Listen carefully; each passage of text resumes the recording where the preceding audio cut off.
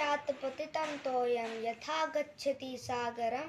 सर्वदेव नमस्कार केशवम प्रति गच्छति आकाश से जो पानी की बूंद गिरती है, वह सागर तक जाती है। ऐसे ही हम सभी देवी देवताओं को जो नमस्कार करते हैं, वह भगवान श्री कृष्ण तक जाता है।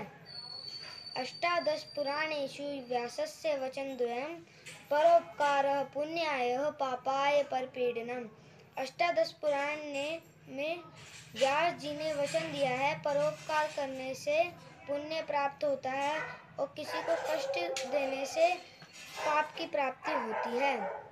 माता, शत्रु, पिता, वैरी, येन बालो न पाठित, न शोभते, सभा मध्य, हंस मध्य, बको यथा। जिस बच्चे के माता पिता उसे पढ़ने के लिए प्रेरित नहीं करते, उस बच्चे के माता पिता उस बच्चे के लिए दुश्मन समान है। जैसे विद्वानों की सभा में कोई मूर्ख व्यक्ति बैठा हो, जैसे हंस की सभा में कोई बगुला बैठा हो।